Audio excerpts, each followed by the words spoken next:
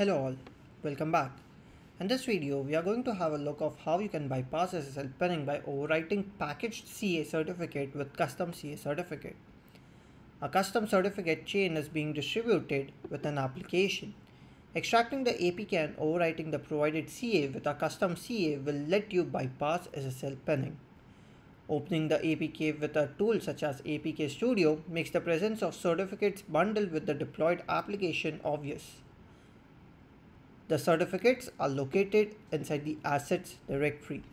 There are two methods of bypassing or by or performing this particular action. One, you can do it manually by changing the certificate and adding the custom certificate. Second, you can make use of a tool such as APK MITM.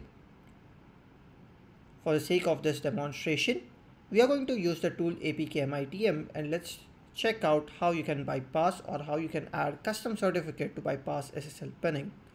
You can install APK MITM by visiting its official GitHub repository and running the command npm install -g apk mitm.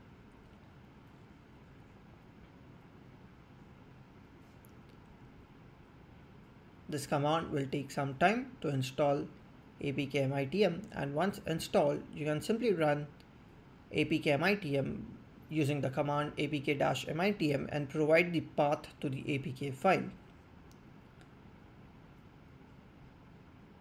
In our case, we are going to use the application Android androgoat to bypass its SSL pinning.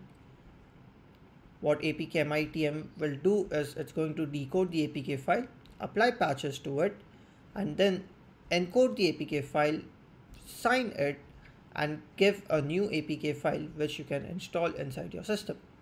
So we are going to go inside our Android emulator